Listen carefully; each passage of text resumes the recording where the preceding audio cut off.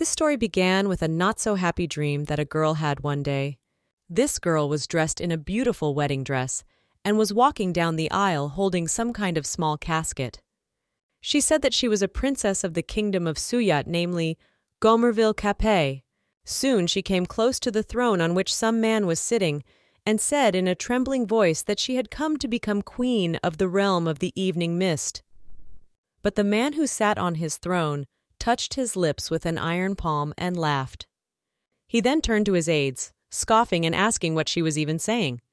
Next to this king was a beautiful girl who was dressed in a nightie, and as she looked at the lady who had arrived, she said that the lady said she wanted to be their queen. The other guests also began to laugh, for they thought her suggestion was as silly as possible. One of the courtiers asked, Perhaps she can only weave and sing like a nightingale, but they, the women of the realm of the evening gloom, can only dance and gallop. One of them asked with a sneer, How can they rely on her, this little girl from the south? She even has such a weak voice that it is impossible to hear anything she says. Someone said that she had even come to die, for in such light clothing she would freeze to death if thrown out of the palace. And as soon as the girl approached the king to fulfill her promise, he immediately grabbed her by the throat with his iron hand. He said that he was very surprised that a small country, which is on the verge of extinction, dares to send a little princess and at the same time hopes that she will become his queen. To him, it is just ridiculous and very stupid. The girl, who was breathing very heavily, for the man was restraining her with his hand, tried to say that they had been engaged for a long time after all, so it had to happen sometime. But he raised it still higher and said angrily that it was superfluous babble, a verbal agreement between the dead man and them, for now the ruler of the realm of evening darkness, he marked the din. And he said with relish that the girl had come to this place as his property, his slave, his new toy. At that moment, one of the girls who were present there took the chains and blindfold and asked for the princess of the Vanity Kingdom to approach her. She pointed to the collar and said it was made specifically for her size. This brought tears to the poor bride's eyes, but she could not say a single word out of horror. At this point, the others began to help fasten these iron shackles around the girl's neck. She tried to resist, and all the while she was screaming at them not to do it, for she would not be a slave. However, no one listened to her, of course. In the flurry of these rapes, they even tore her beautiful necklace of expensive stones. Soon, when the chains were put around her neck, she cried and said that she did not want to sit on that chain, for she was a princess and had come to be a queen, not some slave. The king, who at this moment held the chain and controlled every movement of this girl, said that not at all, she was not worthy to be his queen. He also added that the girl has only one choice to become a new favorite among his many mistresses. She has no other choice. The girl tried to resist, but she was unable to do so. The king, in turn, said that she might not have known, but before her arrival, the Reuben family and the Manzanita Palace had also sent so called princesses. He pointed towards the girls who sat next to his throne and replied for her to look. After all, they were many times more intelligent than she was, and none of them even dared to say that they had come to take the throne. The poor girl didn't know what was going on. She thought that everyone there was crazy and mad, and that the king, whom her father and brother had forced her to marry, was a real psychopath. In fact, before what you're about to learn about happened, one girl had a rather strange and even scary dream about a wedding two nights in a row. And each time, with horror waking up in the middle of the night, she had no idea that this was fate's way of warning her of the coming events, and that was, until in reality she experienced something similar to what happened to the princess from her dream. Two years ago, her father passed away, and the family property was divided in half. Half went to the girl herself, and the other half to her stepmother and stepsister. So, two years later, she was to marry her boyfriend, whom she had been dating for five years. However, on the day of the wedding, it turned out that he was having a rather stormy affair with her half sister. They planned it for two whole years so she would get her license and then, after the wedding, eliminate just her by making an accident. After there were no obstacles, they would steal some of the girl's possessions and also receive the insurance payments they had taken care to arrange in advance. It was because of her naivety that the girl thought all this time that her stepmother and stepsister were treating her normally and that they had no complaints or grievances. She actually thought that she and her fiance had really fallen for each other at first sight and that they would be able to spend the rest of their lives together, soul to soul. But it turned out that only one girl thought so. The others had their own plans for her. And the day she came and caught her half sister with her fiance, the girl was very angry. But that sweet couple realized that she in no way cannot tell anyone this truth, so they began to take serious measures to eliminate her right at that moment. And now, as she flew down from the terrace of the house, she thought about the fact that there was no way she was going to accept it because she couldn't just die on the day that was supposed to be the happiest day of her life. When it was over, the girl had only darkness in front of her eyes for a while. However, after that she began to wake up and was coughing violently because of the impact with the floor. As soon as she opened her eyes, she realized that she was alive and could breathe. The girl was very happy about it, but she did not really know what fate awaited her in the future. If she had known, she would not have been so happy. In fact, she didn't immediately realize that her soul had moved into another body. She felt like her head was about to explode from the strange scrawled images mixed with memories of her past. Soon, a beautiful lady came into the girl's room holding a candle. She said that she had already wanted to call someone to dump the body, and she was apparently alive. The girl sighed testily and said that their princess had such a hard life. The girl was breathing hard, for she had a chain around her neck, and said she did not want to die on this day or on her wedding day. Then she asked the stranger more closely and found out who she was. The woman came closer with a slow but confident step and, smiling, said she was the ruler's favorite and her name was Liv. The bride was very surprised and asked who she was even talking about. Liv looked at her majestically and said that of course she was referring to their master, Othella Eudes. The bride wondered if the girl had lost all her last brains because she had lost her vitality at some point. Then she wondered in surprise why she was looking at her with such a grimace in the first place. The bride thought that the woman in front of her was actually very beautiful, so much so that it made her feel sick. At that moment, Liv came closer, because the girl was really annoying her. She slapped her on the cheek with all her strength, so that she even fell to the floor, saying she was an abomination. And the bride felt a severe pain in her head at this moment. She had no way of knowing what time she had been lying in this dungeon in the first place, and why she had a chain around her neck in the first place. The girl suddenly remembered that this looked a lot like the nightmare she'd had two nights in a row. At that moment, the villainous woman put the candles on the table and began to take something out of her cleavage. It was a small jar, Liv said, smiling all the time, that she wouldn't live to see the morning. She grabbed her by the hair and started pouring the girl's contents directly into her mouth.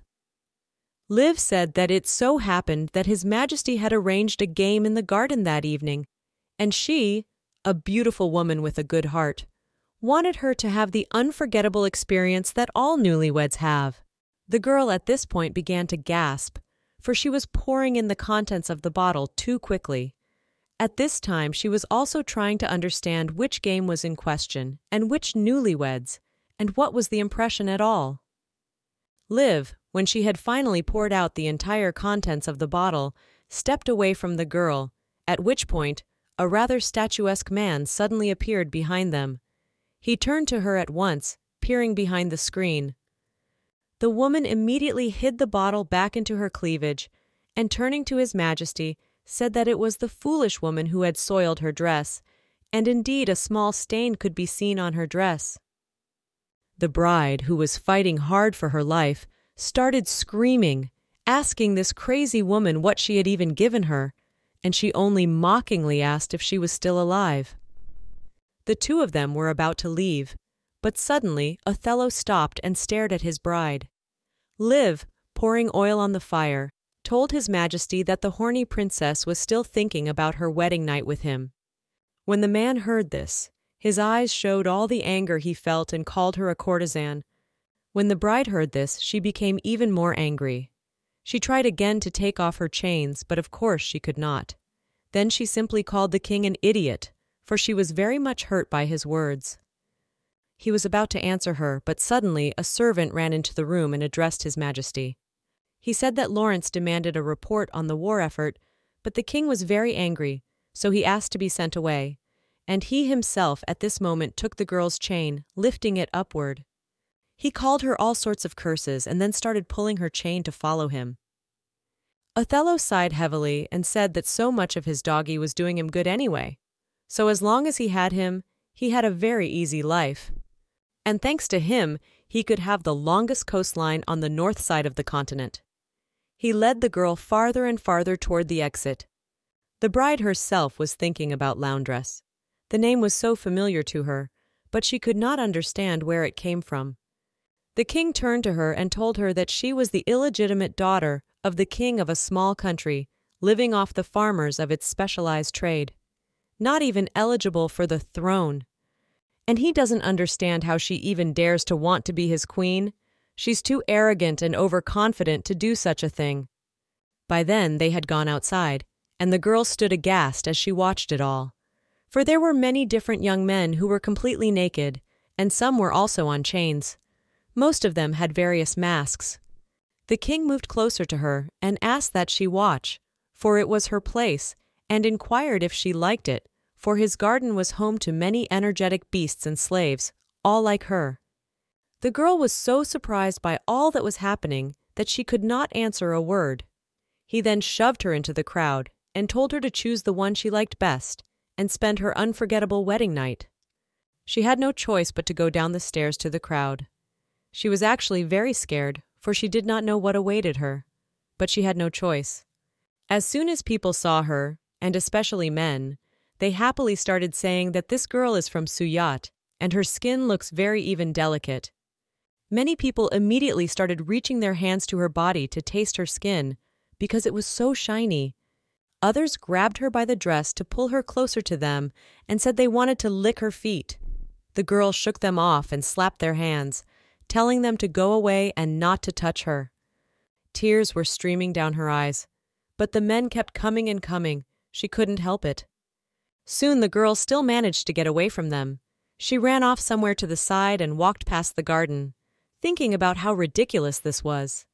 She had no way of knowing why she was in such an absurd place after her death, but she began to recall that she thought she had seen this scene in her nightmare. But she was not so sure anymore, for the girl was very fond of reading various books and assumed that she could have seen the story there as well. She walked farther and farther away from those wild animals who wanted to eat her alive, and then suddenly she didn't notice a small rock, so she clung to it. The girl couldn't keep her balance, so she fell straight to the ground in her snow white dress. She felt pain, but when she looked away to get up, she saw someone's silhouette not far from her. He was standing by the fountain, apparently wiping up some blood. Many wounds were visible on his body, and it was not clear whose blood it was, whether it was someone else's or his own. For a while the girl just stood there looking at him. She was crying hard and straight up begging for help. She wanted someone to save her. The man, hearing someone's voice, immediately turned around to see who it was. He had a mask with two horns on his face, and his torso was naked. He held a towel in his hands to wipe his wet body, which was quite pumped up. At this very time, the king had already managed to return to his apartments and was lying on a huge bed. The king had already returned to his apartment and was lying on a huge bed. Liv, who was as close to his majesty as possible, turned and offered to play a game and inquired how many beasts she could be eaten by that evening. She laughed and said that she wanted it herself after all, so there should be no complaints. Othello, who was enjoying the whole picture, smiled and said that it was a pity. After all, he wanted to marry a Suyat girl, but he had no idea that their princess was a narcissist, and the marriage would be a disgrace to their entire nation. He winked at the girl and said that he proposed to execute her at dawn, so that she would no longer loom before their eyes. Liv moved closer to him and put her finger to his lips, running it gently over them. She also told His Majesty that he was too impatient, after all. The dowry from Suyat hadn't arrived yet, and the princess was quite beautiful. How could he do such an unkind thing? Othello smiled, greedily devouring her with his gaze, and said that he actually preferred women who entangled him like a snake, such as she. At that moment, the image of the girl trying to break free of the chain popped into his mind, and he said that in addition, she had lost interest in everything. Goomerville at this point continued to lie on the floor and did not get up. She mentally asked for help. Her legs had become very weak by this time, apparently because of the medication the girl had given her, and she couldn't even stand up. In fact, she was burning up. Her body went slack, and as if her eyes were hazy, she concluded to herself that it was definitely the liquid Liv had given her, for there was no other explanation. The girl could not understand what she had done to her, and she was even frightened, thinking that she might die again because of it. She looked up and saw that there was another slave standing in the fountain. She hadn't noticed him before, or she just hadn't given it much thought. Goomerville took a closer look and noticed that he was also wearing a mask. In fact, he didn't look like the others. He was motionless, and his gaze was quite calm. Many scars and the smell of blood could also be seen on this man's body, but she didn't understand why that was.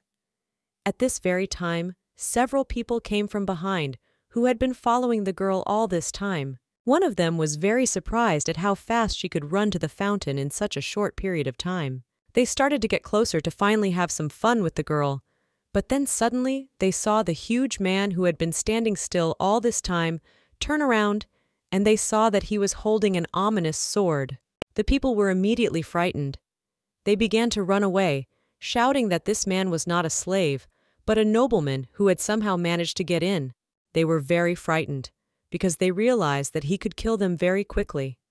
So they started running away, and the man at that moment also started coming out of the fountain and splashing water in all directions. The girl realized that it was very dangerous to do anything now, he was coming closer and closer to her. She looked him in the face and asked him in a pitiful voice to stay away, because he smelled of blood, and that frightened her. The stranger stopped right in front of Goumerville, and in a voice muffled because of the mask, asked, Is she on some kind of drug? The girl, in turn, replied in a trembling voice that she was a Suyat princess and asked that he not defile her body. The stranger crouched beside her at that moment and took her by the shoulder. The man slowly said the name of her city, and after that, he replied that in fact Othella despised the support from Suyat, and she would certainly not become queen. He would spoil her so that there would be a reason, shall we say, to bring her back. Goumerville looked him straight in the eye as the man lifted her up and thought his golden gaze was blinding her. The stranger took her in his arms and, looking her straight in the eyes, told her that if she was loved by her family, someone would surely be sent for her. If not, then life would be full of sadness. He was silent for a while. Then he asked whether to let her go or take her back. The choice was hers alone. Gummerville was shivering with fear and cold. She did not know what to do, but she knew that she could not stay alone. So, with tears in her eyes, she asked him to take her away. Then he asked in a quiet voice what her name was. The girl immediately said her name, and then he asked if she wanted anything that night. Goumerville was silent for a while, and after that she said that she was a princess, but she wanted to be a queen, but not some kind of slave for sure. At that moment she realized what she'd said and thought she must have a fever. If she was saying such stupid things to a stranger, but she felt some will, and so she continued to speak. The girl said that she was a bride and did not want to be deceived, did not want to be abandoned. At that moment, he suddenly put her down again and asked that the girl wait for a while. At that moment, he stepped aside. After that, he took his sword, which had been left there. He turned around and stared at it for a while.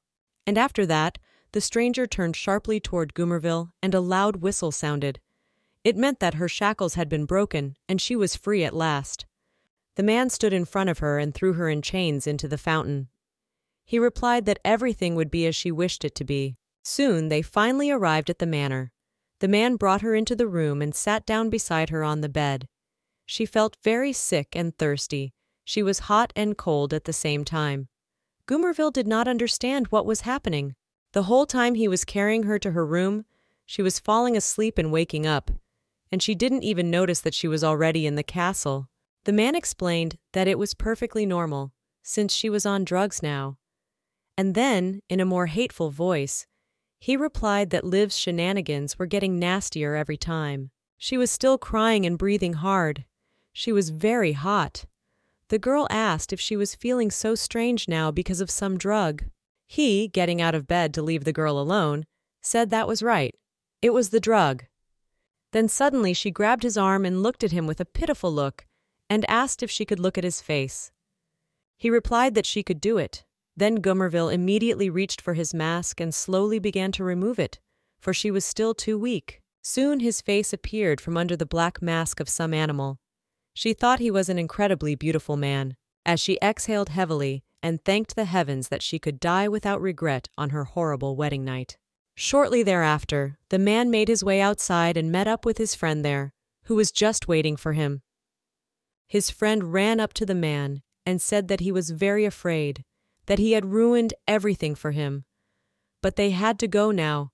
The wild orcs had raided their barracks in Valine. He also said that the attack has not stopped in any way and will definitely not end anytime soon.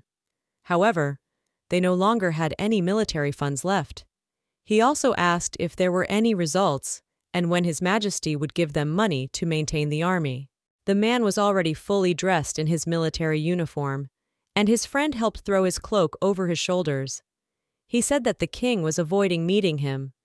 He wanted to sneak into the harem and even hid his face. She wanted to add something else, but his aide interrupted and said he shouldn't have done that because he could have been caught and exposed. But the man said they have a very suspicious and crazy king, and he's also very stingy, so you can't risk it. When the man heard this, he turned to his friend, and he immediately realized his mistake. He laughed nervously and said that he would not say such things again, he would watch his words. They went on somewhere else, and the man said he wanted to take one more woman with him. Jay was very surprised when he heard this, and asked if the master had taken a fancy to Othello's slave girl or some kind of dancer. But whoever she was, it was still strange to him. His assistant was outraged and said that not only could he not take her away, he wasn't even allowed to say he had touched her, or she would be executed immediately. He at this point had already started screaming and asked that the Lord not forget that Othello had his weak spot in his hands. He was tired of hearing all this, so he answered that he understood, and said that he could stop, because he just wanted to take care of things as soon as possible, and in a few days they would have to go back. Jay smiled smugly and said that the slave girl must be very pretty, since she was able to make his master's iron heart grow fierce. He didn't like that, and he blurted out, telling the guy to shut up already, because he was too embarrassed by those words. At this time, Gummerville, who was still lying in bed and gaining strength, was already awake, for the sun was shining directly into her room. She was still trying to digest the information that was in the book, and after the absurdity that had gone on before her, it finally, finally, finally dawned on her that there was no turning back. She started going over the various names of cities in her head, such as the Kingdom of Evening Mist and Suyata. The girl tried for quite some time to remember where she had heard those names, and before long, she finally remembered that she had read one novel and was transported into his world. It's a dystopian biographical novel called Lowndes the Great. This book is so unpopular that she couldn't even find it to let anyone know about it at all. And there wasn't even any information about it on the internet at all.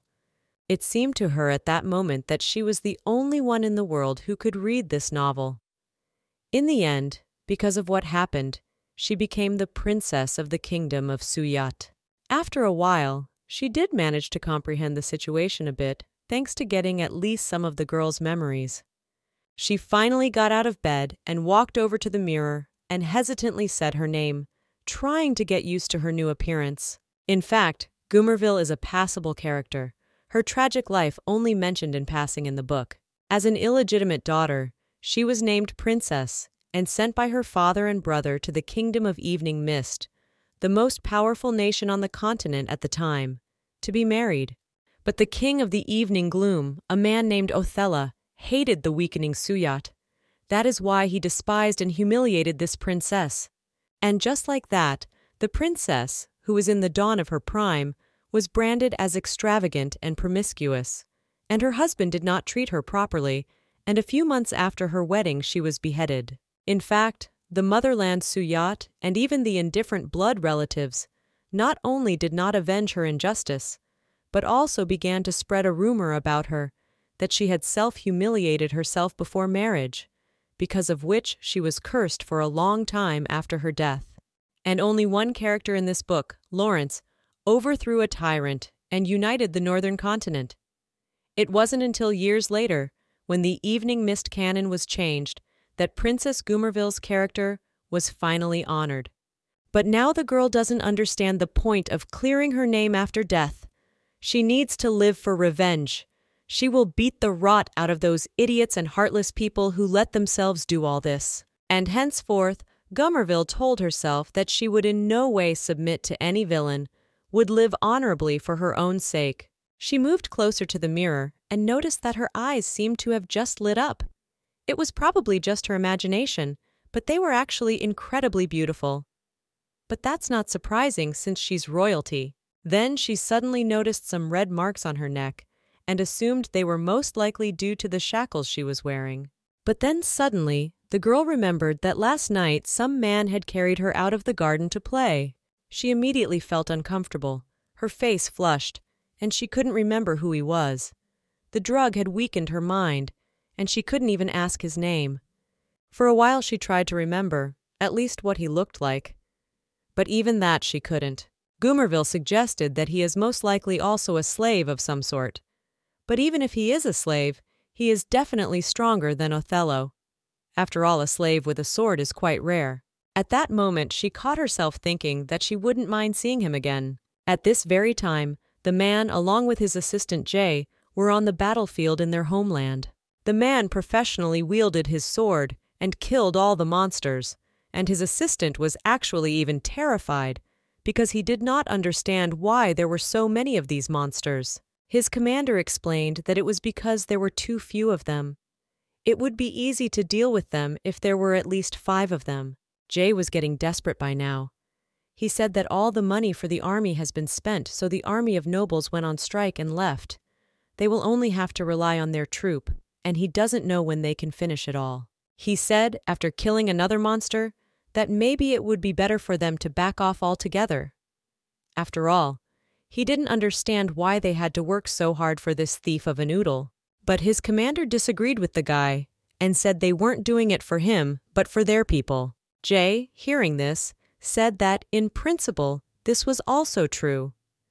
After all, if the defense line surrendered, the border towns would immediately be destroyed, and his mother would be ashamed of him for not being able to defend even his own country. The commander then said that it would be really nice to find some money. The boy agreed and said that it would be very nice if they found some treasure. At this time, a number of people were gathered near the castle where Gummerville was. They were two young ladies and the maids who accompanied them. One of the guests asked if they were sure that the princess was in the snow castle. One of those girls was Liv, and her friend had said that there was definitely no way a girl could escape from the palace. And this was the only place they hadn't looked yet. Then the girl turned to the maids and told them to go and find her. But the maids were immediately frightened. One of them said that some people say that there are even ghosts there, and she did not want to go there. At this time, Goomerville was standing near the mirror, looking at the torn dress she had worn last night. She did not know what to do or what to wear now, but suddenly she heard a strange sound behind her. And at the same second, two maids burst into her room. One of them, at the sight of the girl, immediately angrily said that she would go with them. Goomerville could not understand a thing. They had come up to her so quickly and taken her by the hand to take her somewhere. She couldn't even resist it. The girls started to break free and asked who they were and asked them to let her go. But soon the women took her out into the yard and just threw her on the ground.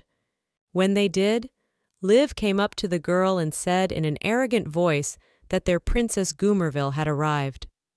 With the nickname Absurd, she also said that she was very embarrassed for her because she was so disheveled and unkempt. The girl, who couldn't even look at her, for she realized who it was by her voice, concluded for herself that things were very bad for her, for in the book Goomerville was killed after being branded with many accusations. But, in fact, she couldn't even think that everything would happen so quickly. Then the girl remembered the man's words last night.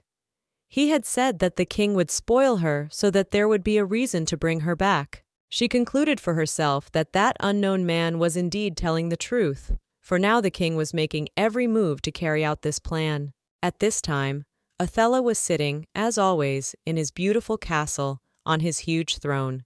Several people came to see him. In fact, it was Liv who brought the girl to him.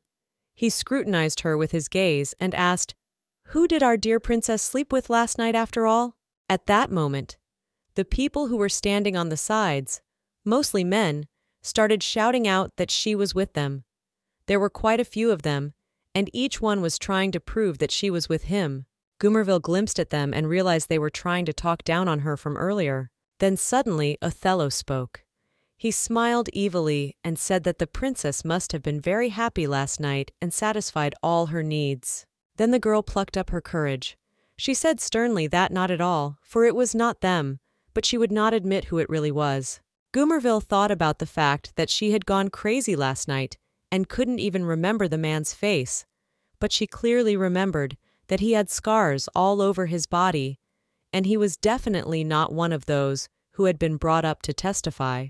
Liv spoke up at that moment and looked at the girl, saying that she certainly had a lot of nerve and mockingly called her a princess.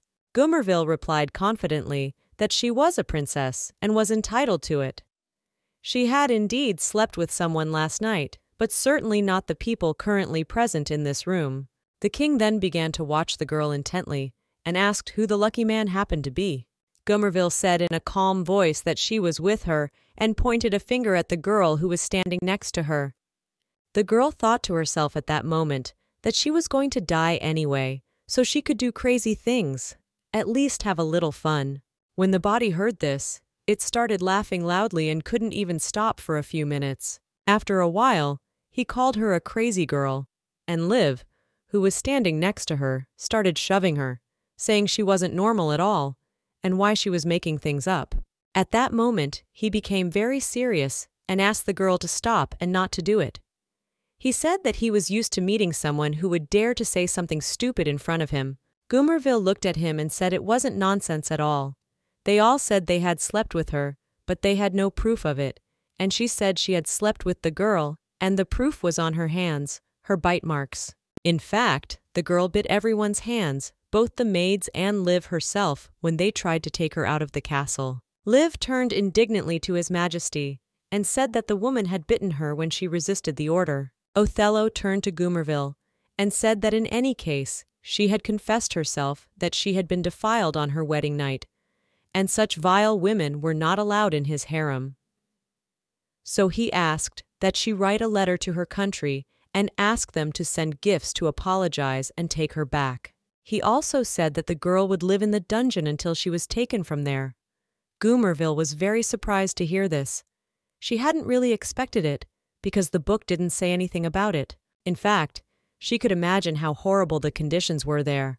Lots of rats and various maggots, and if you got one over there, you could kiss your health goodbye. The book had said that the heroine's body odors were festering and stinking, and now the girl realized what the real cause of it all was. Goomerville's character is pretty weak, so she probably just submitted to it all. But the girl is newly reborn and doesn't want to just die like that. She may be from LA, but she needs to save her own skin. She even fell to the floor in surprise. Then she looked at the king and said that she did not know where she had made the mistake. However, the kingdom promises to send a huge dowry with her, and if they found out that she had been put in the dungeon, they would turn around and take whatever was next. She looked very sorry, but in her head, she was very happy because he wouldn't get any money if he treated her terribly. How, at least for a while, she could secure her freedom and then escape. Goomerville addressed His Majesty in an affectionate voice and said that she did not expect to remain in his harem, and asked to be made at least a maid to atone for her sins. Liv at this point began to creep up on His Majesty and said that since the princess was so genuinely remorseful, why not set her up? Soon the girl was given a special uniform and supplies, and she immediately went to practice what she wanted to do. She was glad that at least they didn't execute her right away, and she wasn't frozen in the dungeon, so she had a much better chance of survival. She was quite satisfied with being a harem servant, because there was no other choice. When the girl sat scrubbing the floors as usual, she felt cold water pouring down on her from behind. Turning back, she saw the other maids. One of them laughed happily as she held the empty bucket in her hands and replied that she was now at the very bottom. The other one supported her and said that if she shouted the name of the lady once more, she could not even expect a happy life, because a princess of such a small country like Suyat could only be a servant. After that, they giggled and started to go on about their business, leaving the girl alone. Goomerville got very angry about this. She started to wipe the water off her face and thought about the fact that she had promised that she would retaliate immediately. However, she didn't have that opportunity right now, and that made her sad. But then, suddenly, the maids, when they were about to go outside, slipped and fell, hitting their heads. One of them started screaming, asking why it was so slippery. Was the girl so inept that she even spilled water? Goomerville made an innocent look and said she actually used soapy water and asked if that wouldn't make the floors cleaner. The maids in one voice began to shout, asking who could leave such a thick layer of soap. And the girl calmly replied that she was a princess after all. She had never been engaged in cleaning, so she did not understand, and also asked sincerely for forgiveness. The girl apologized at that moment, telling herself that there wasn't a single person in this palace that she liked. So they deserved to fall like this. But then suddenly she remembered a few nights ago she'd spent with a man whose body was all scarred, and realized she didn't like anyone but him. Goomerville straight up started crying because she felt sorry for him, because he was so gentle. But she doesn't know his identity. She doesn't know where he is. She doesn't even know if he's an enemy or a friend. At this very time in the military town, things were not as quiet as they could have been. The man whom the poor girl had been thinking of as she cleaned the lock was lying almost unconscious. He was very ill. His assistant, Jay, immediately became worried and said that he had been poisoned. Apparently, the monsters started thinking with their heads, so they decided to smear their weapons with poison. The man got angry about all his chatter and asked him to shut up already, and wondered if he would even prepare an antidote for him.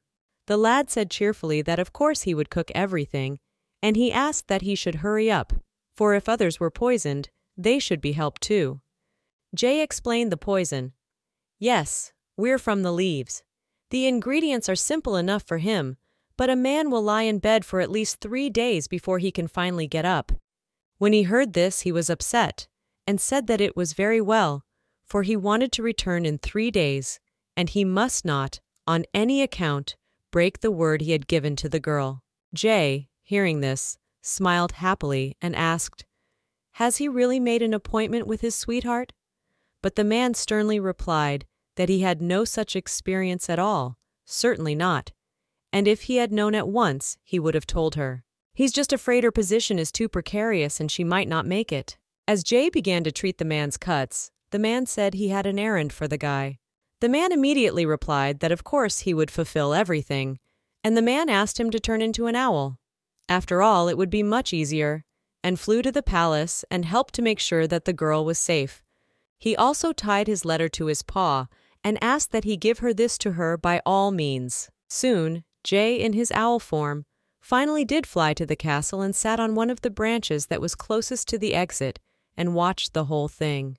And at that moment, one of the maids approached the girl and said that in this place, not only the corridors but even the stairs should shine. Liv pretended to be very surprised and said that some people talk about the snow palace being haunted, and those stairs never even end. The woman ordered that Goomerville go there and scrub that staircase for the rest of her life and never come across it again.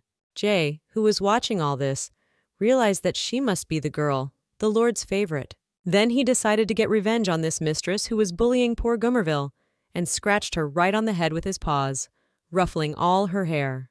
And after that, the smug one began to fly away somewhere in the forest, and the girl screamed with fear and waved her hands to ward off this bird, which had not been over her head for a long time. At this time, the lad flew to a tree, and sitting on a branch, opened that note which the gentleman had handed over. There was a message written to Goomerville. The man said he missed the stars they had looked up to that very night. He quickly slammed down this note and realized that this was indeed a dangerous woman.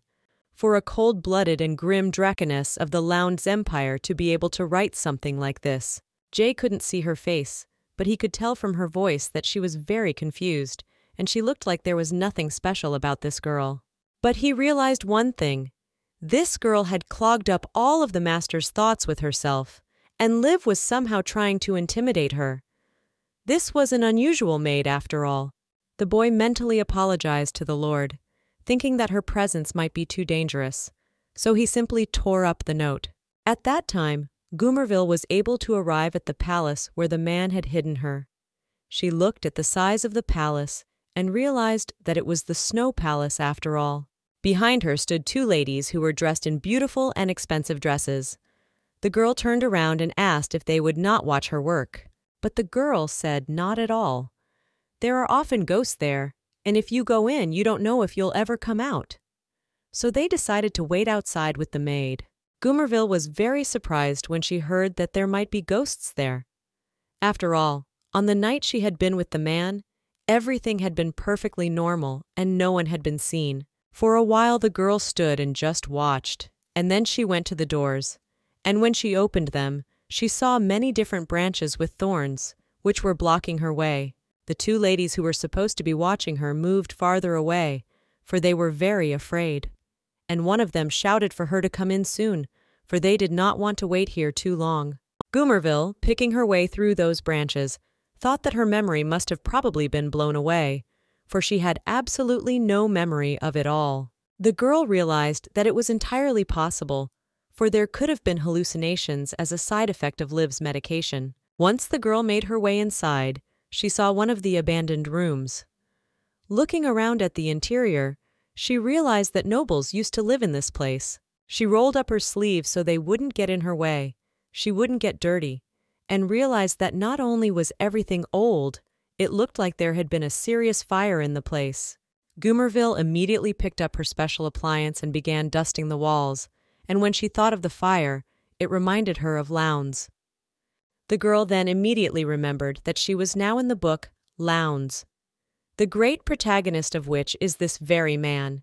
He is the cousin of the mad ruler Othellas, and also the son of Caesar, the brother of the previous king.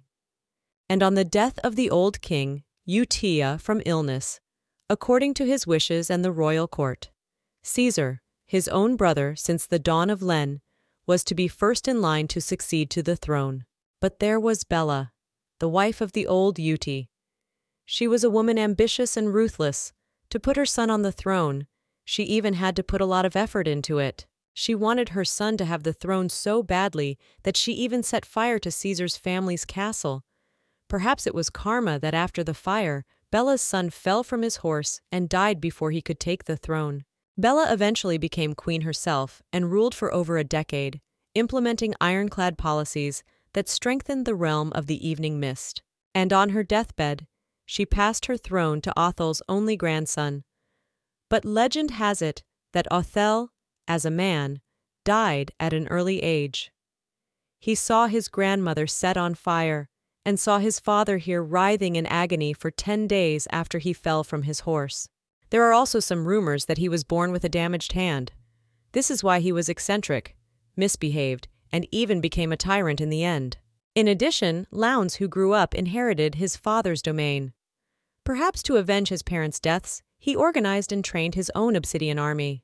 It all started with him helping Othello and blazing new trails, pacifying the frontier. And suddenly, one day, he organized just men and serfs to overthrow Othello. And he took his place on the throne. In fact, according to the book, that idiot Othello gets his in the end. But before he does, he kills poor Goomerville. and even though he didn't go to see her as queen, but he never found another to take her place, no woman married him in a formal ceremony. That's why the history books wrote her as his queen. The girl continued to scrub every corner of this estate and thought about the fact that the book said that on the second day after her execution, Lowndes started a crusade. Then the girl suddenly guessed that he must have loved her, but then she pushed the thought away quickly, thinking that it could not be. For judging from Goomerville's recollections, she was not even acquainted with any Lowndes. Soon she was finally able to clean up the whole place near the fireplace, and, inspecting her work, was very pleased. And then the girl realized that apparently she would never have a chance to cross paths with this hero. At this time in the warrior camp, a loud shout was heard from one of the tents where the Lord was sitting. Lowndes was still very weak, but he was able to sit up. He was about to go somewhere when suddenly one of the knights came running into his tent and spoke to him very excitedly. The man worriedly said that Jay had told them he couldn't move and needed to rest for three days, and now it had only been a day and a half. But the man said it wasn't necessary, so he asked the servant to get everyone together. After all, they were going to the capital and asked how many giants they had already managed to destroy.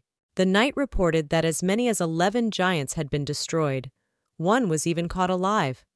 Lowndes asked him to gather them all in one place. The man asked in surprise if they were already retreating, but the gentleman replied that not at all, they were going to get the money they so badly needed. At that moment, the girl, who continued to clean the manor, heard some strange sound. It had been repeated several times already, and then suddenly she heard it even louder than before.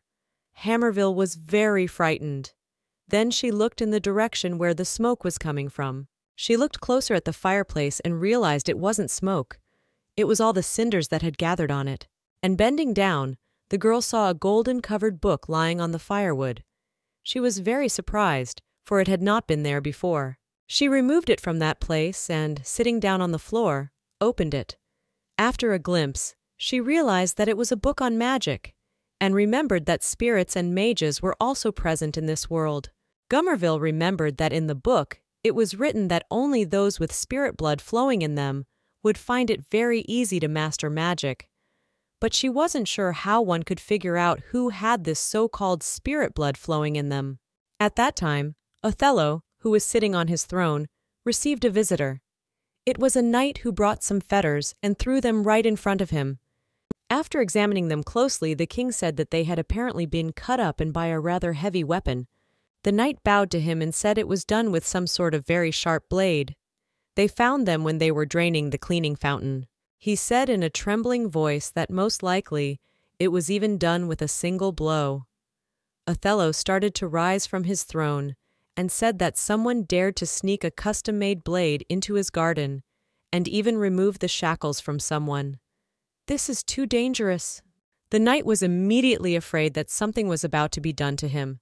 However, he kept his head down and replied loudly that he had made a mistake and apologized for it saying that it would not happen again.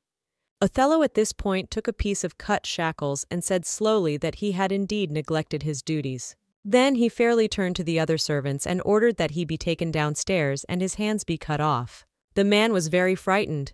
He immediately began to shout and ask His Majesty to have mercy on him. After all, he would not repeat such blunders and mistakes again. But he didn't have time to finish.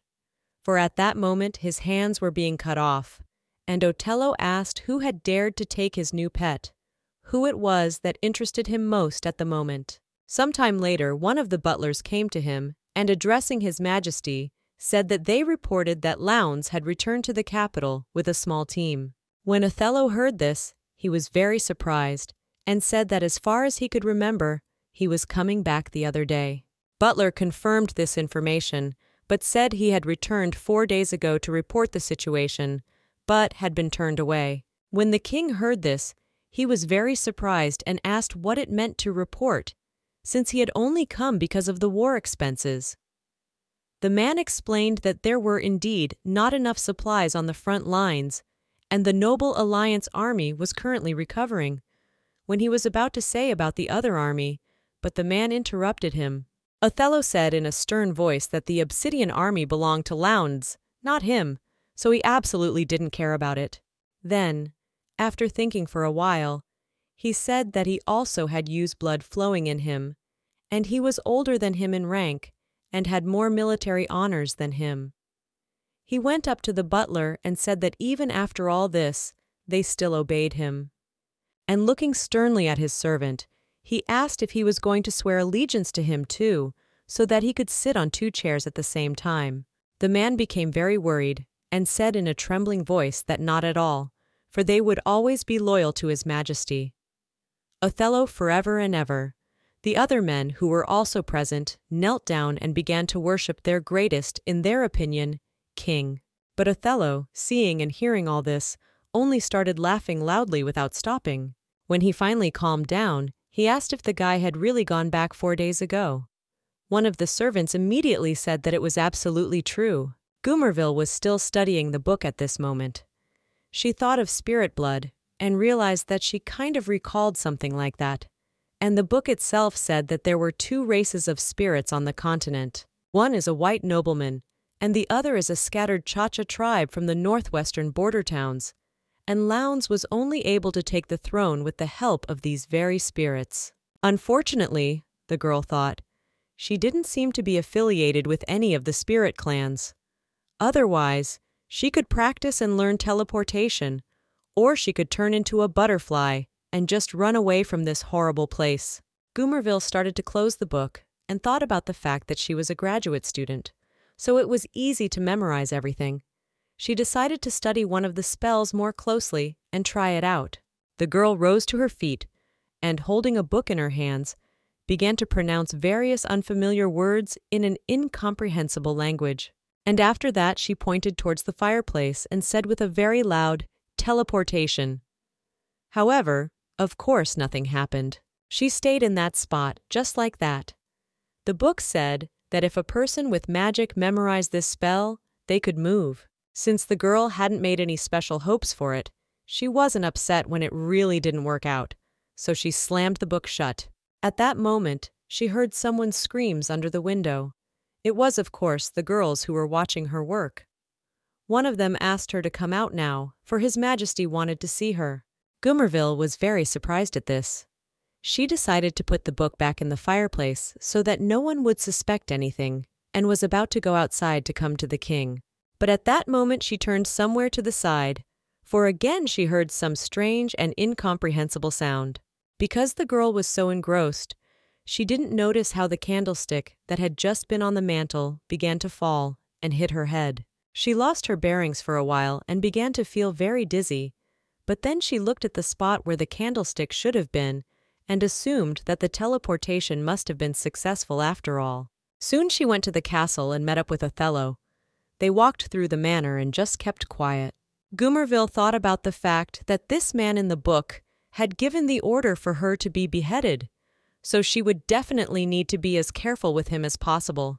At that moment, he suddenly ran his iron hand over her neck and asked where the collar he had given her was. The girl shuddered at the touch of the cold iron, but she quickly brushed his hand away and asked him what kind of collar he was talking about.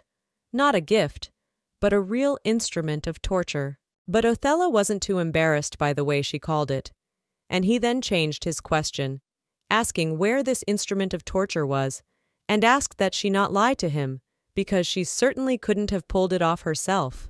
But the girl replied that she didn't really know either, because she had lost consciousness, and when she woke up, she was already without him. Othello, of course, did not believe her. He said that straightway it made her disappear for the night, so also it was something that spoiled what he had ordered.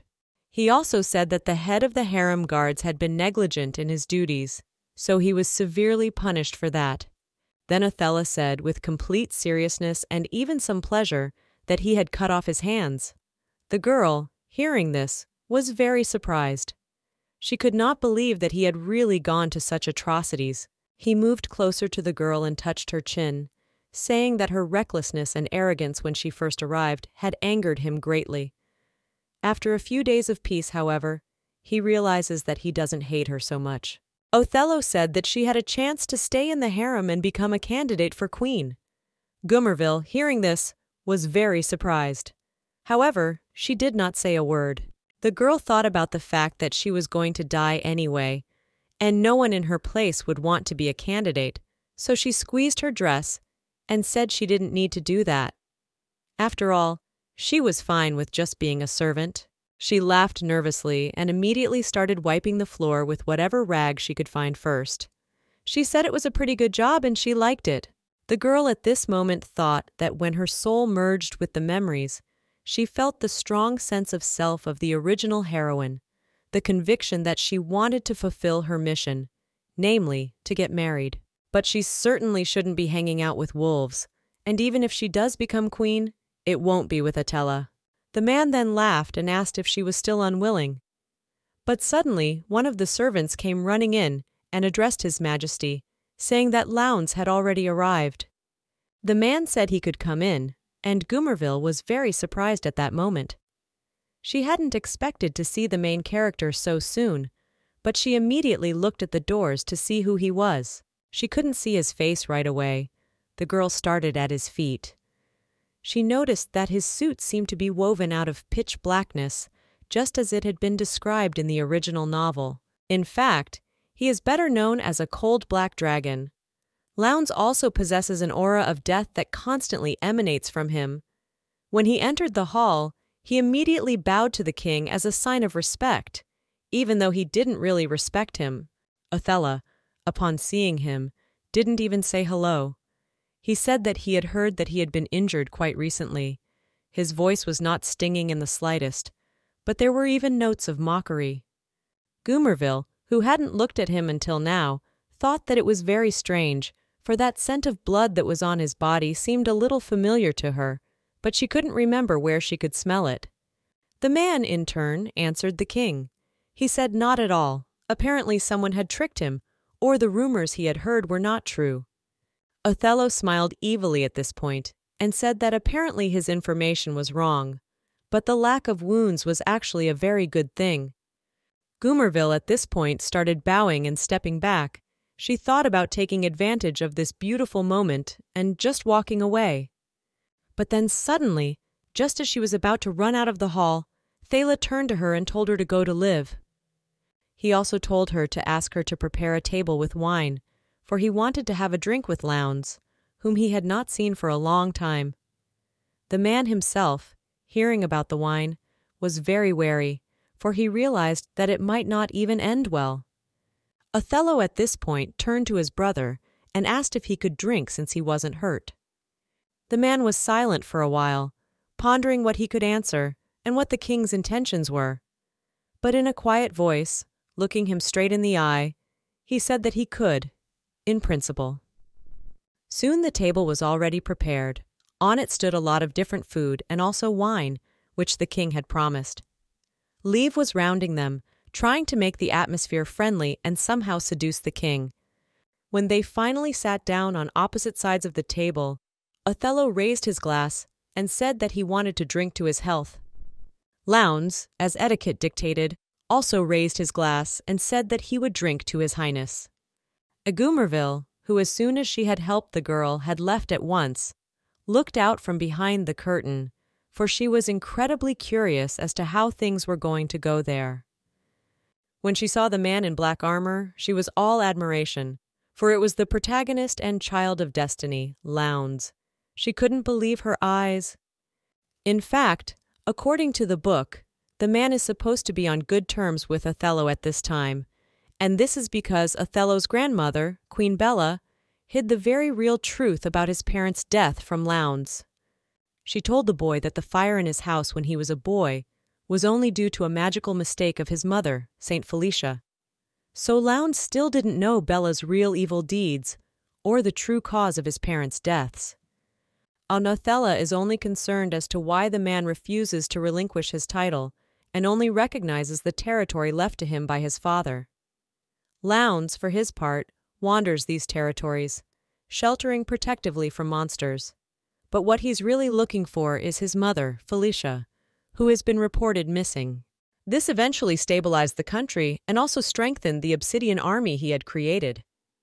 And now, when the girl looks at him, you at first glance, it seems to her that they have a friendly, even relationship, but in reality, no one trusts each other there. The other maids and one of the ladies were also watching the whole thing. One of the maids said that she thought His Highness was much more handsome, but another said that Mr. Lowndes was also a very handsome man. A girl came up to her and asked her who she thought was prettier. At that moment, Goomerville thought that both of them had distinguished themselves by killing people, so in this case it was not beauty that was to be measured, but kindness. But in order not to be questioned, she simply replied that she didn't know much. They're just the same to her, that's all. Lowndes at this point heard them giggling and looked somewhere in the direction of Othello, who was watching all of this intently, suddenly turned to Goomerville and called out to her. The girl, who was just about to leave so that she would not be noticed, was very surprised. She couldn't understand why she was called, but she went straight to them. The king, who at this time was looking at his beloved Liv, smiling, asked if she could dance. The girl, who was very worried, replied that no, she doesn't know how to do that, and she has never even seen others dance, so she has no idea about it. The girl herself at that moment thought, not that she was considered a clown, since they wanted her to dance in front of everyone like some kind of doll and entertain the guests.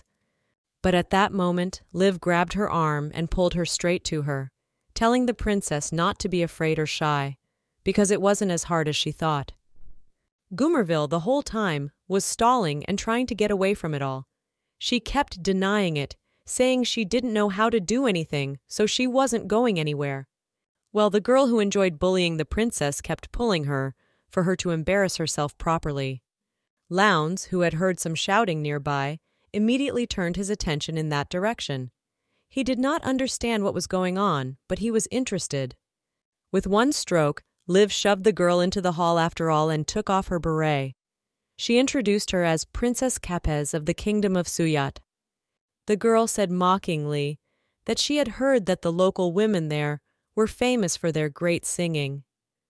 Lowndes glanced at them, looking very stern, as if he didn't like what was happening, or didn't like the fact that Goomerville had entered the room. The girl was very angry with Liv at that moment. She didn't understand why she was so indulgent and obeyed Othello's every order. Then suddenly the king looked at the girl and said that in that case Goomerville should sing, and afterward smiling, asked if she would refuse his request. The girl had no choice but to obey, for at that moment she even remembered how one of the garden guards had had his hands chopped off for distracting him from his tasks, and realized that she certainly didn't want to lose her hands. She was very nervous, but eventually she started to sing. Her voice was incredibly beautiful and filled the whole room with its bright sound. The moment she sang one of the songs, she was filled with outright joy, the girl didn't even notice anyone around her as she sang the words. Goomerville thought to herself that it was as if this was like a memory that had been imprinted in her mind, and she could really sing very well, if only she opened her mouth. Othello, who had expected to hear terrible wars from the girl, was incredibly surprised when he heard how beautifully she could sing. Liv, who just wanted to pick on the poor girl, was very surprised for she didn't know that Suyata women actually had a certain talent.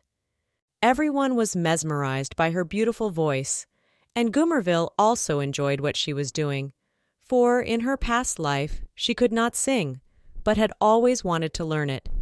Lowndes had been watching the girl intently all this time, and a small smile even appeared on his face. In fact, her voice fascinated him, and he couldn't take his eyes off her. When the girl finished her song, the king suddenly rose from the table and turned to the man. He walked up to Goomerville and took her in his arms, saying that he had originally not wished to marry this Suyat woman, but he had suddenly changed his mind and wanted to keep this nightingale in his harem. The girl, hearing this, was incredibly surprised. She hadn't expected that he could do that at all, and she didn't know what kind of game he was playing.